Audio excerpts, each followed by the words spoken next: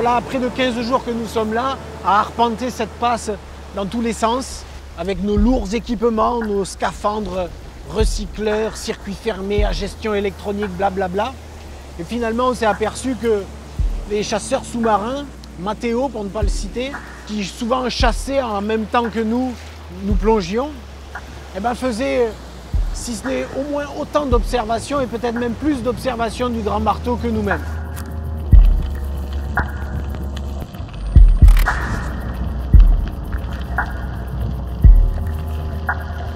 Et sa grande force à lui en apnée, c'était sa mobilité finalement. Le fait qu'il pouvait descendre la passe, vite fait la remonter, la redescendre à nouveau. Et finalement, petit à petit, eh ben, on a changé notre façon de voir les choses. On a abandonné nos scaphandres et nous aussi, on s'est mis à l'apnée, la plongée libre.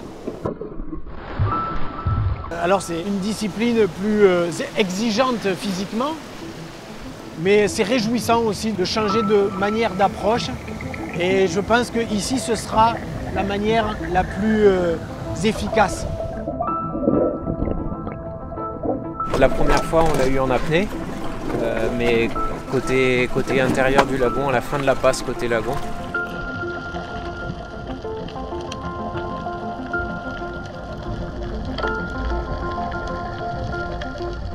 Il sortait, ce qui nous a laissé le temps de remonter à bord du bateau, repartir en début de passe côté océan, se réimmerger et là on a pu le réobserver sur la, la seconde marche.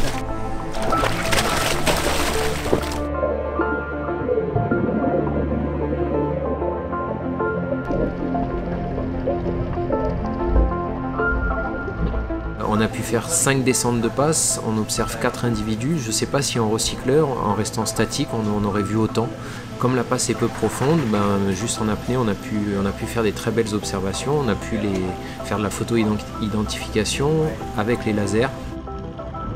Maintenant, on se pose la question de est-ce que c'est pas aussi une des solutions qui pourrait nous permettre d'approcher euh, le, marteau avec la perspective de pouvoir le taguer?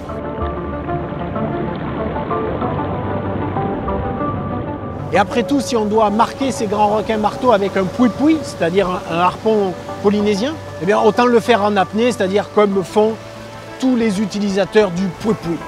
Et c'est avec ce poui-poui qu'on va sans doute euh, marquer et poser les émetteurs sur le dos de ces grands requins marteaux. Pour l'instant, on revient aux sources et à l'apnée, et c'est pas du tout déplaisant. Salut